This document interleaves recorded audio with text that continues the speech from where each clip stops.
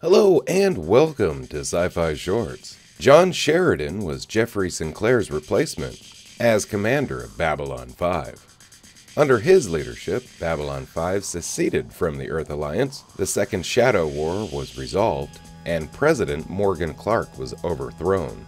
After which, Sheridan became the first president of the Interstellar Alliance. He eventually married Minbari Ambassador Delenn, and they had a son, David Sheridan II.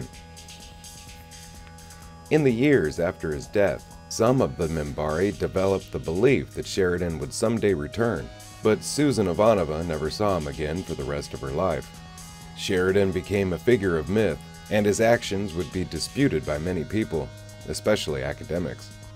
Cast as a villainous figure in many respects, this would be corrected by Delenn herself, who appeared from seclusion on the 100th anniversary of the Interstellar Alliance, crashing an academic panel discussing what was being broadcast all over Earth. To a stunned audience, she stated very plainly that Sheridan was a good man who loved Earth, even when Earth had turned his back on him.